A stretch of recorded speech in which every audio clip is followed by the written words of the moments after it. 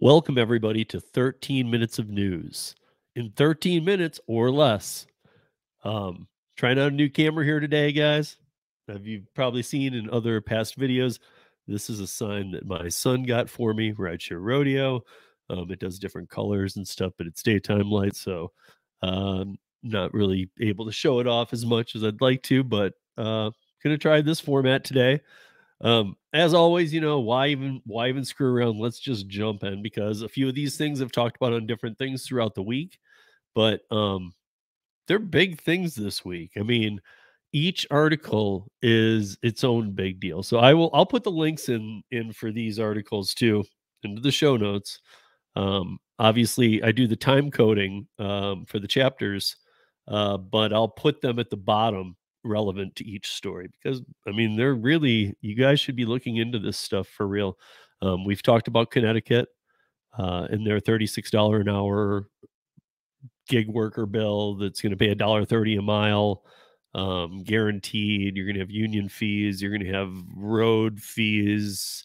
Um, it basically it it's like the extreme hybrid version of W two employee with the gig economy. So it's like the farthest any state or or let or or you know any any voting or bills or anything going on they're all different across the country nothing has been this over the top i mean we were doing the math the other day so like if you do ride share and you get 36 an hour and you drive somebody 70 miles during that hour because it's for active time clearly um, you will get for the hour $36 guaranteed.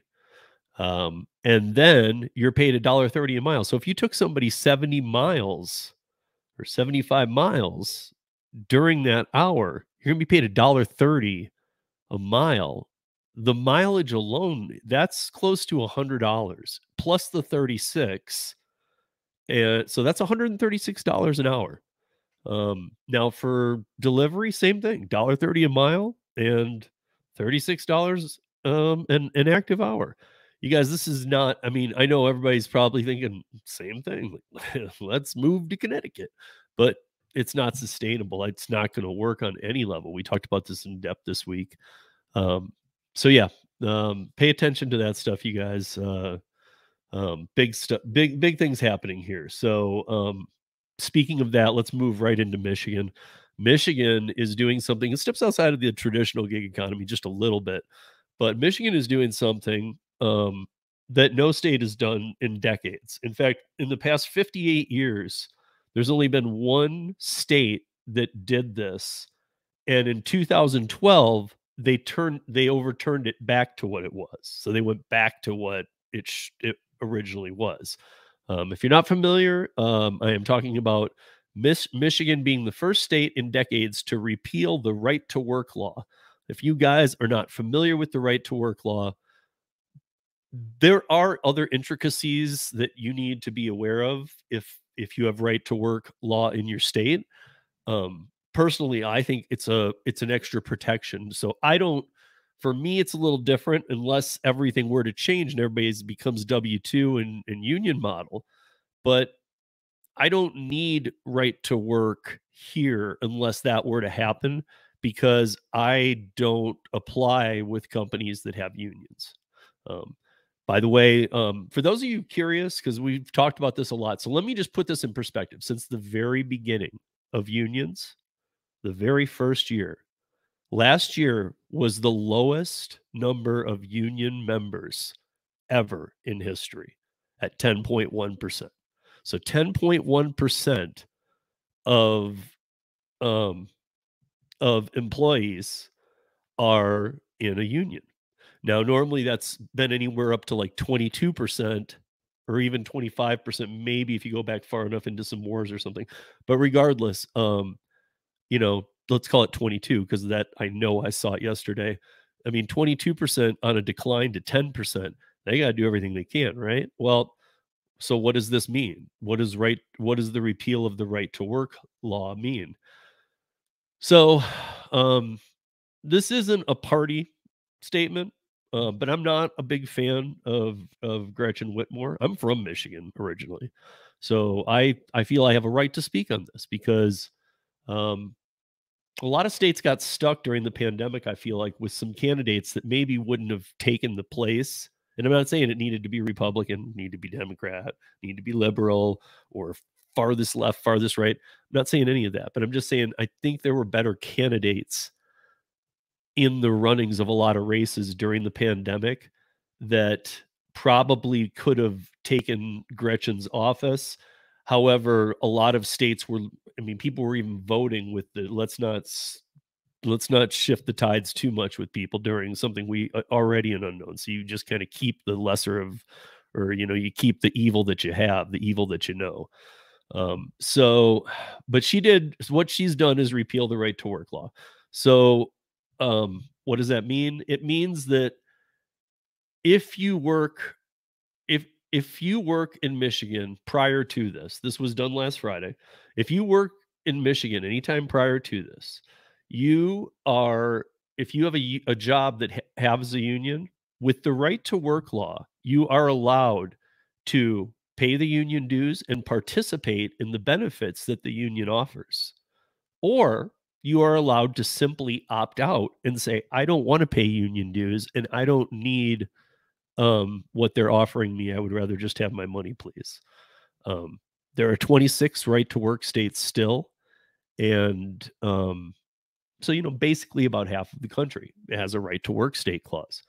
But we just watched one go down. And I got to tell you guys, I've talked to a lot of people who said that can't happen. That won't happen. You know, like say what you want about the PRO Act, say what you want about AB5 and, you know, Massachusetts and Connecticut but no state will overturn a right to work law.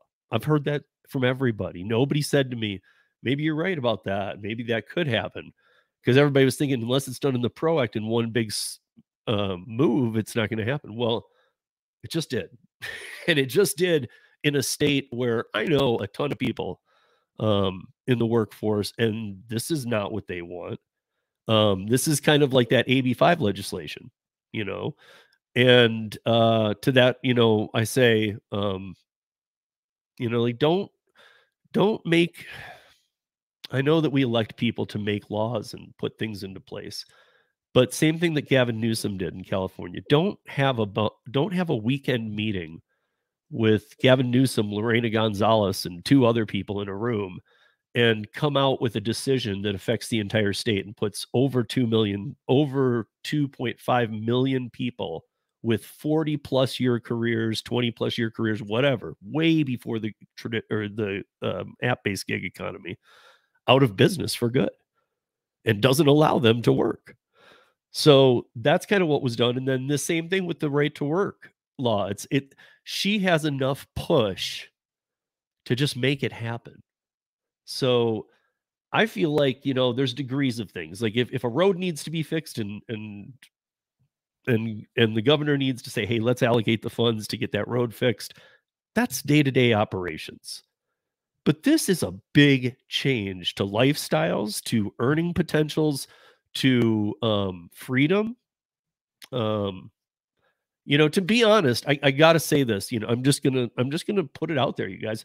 I I think that every state should have a right to work law.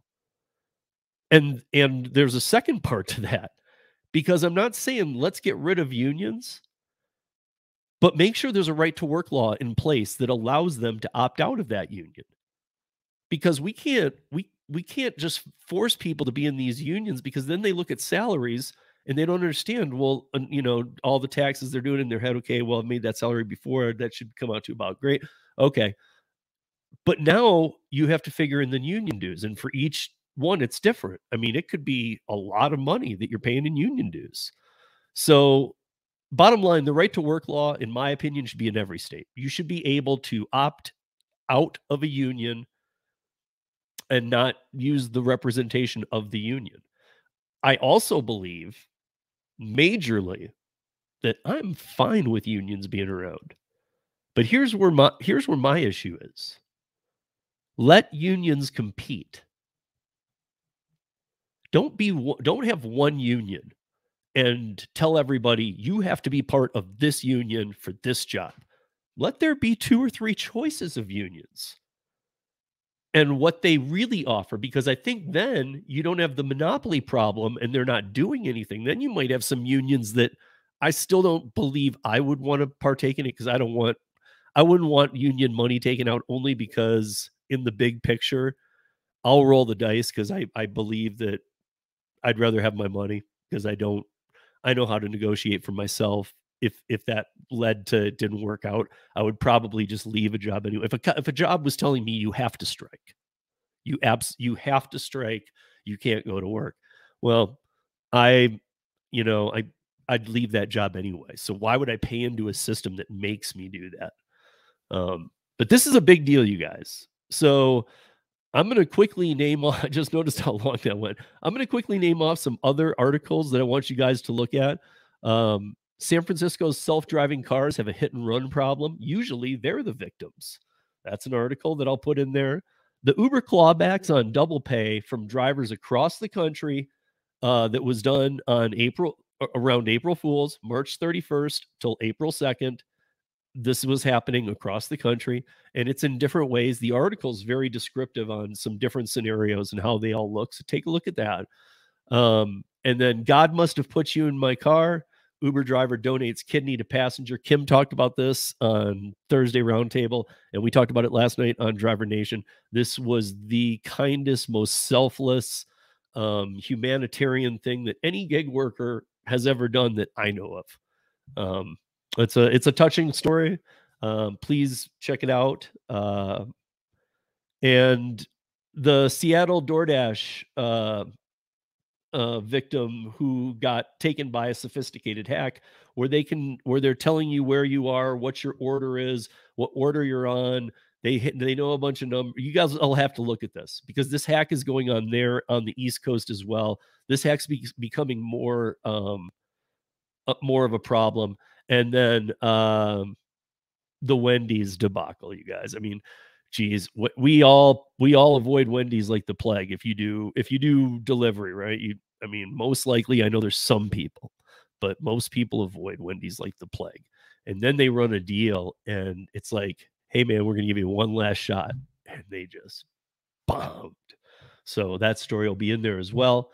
Um, you guys, I, I know it was pretty much the one story in a little Connecticut, but that's 13 minutes of news in just under 13 minutes. Peace.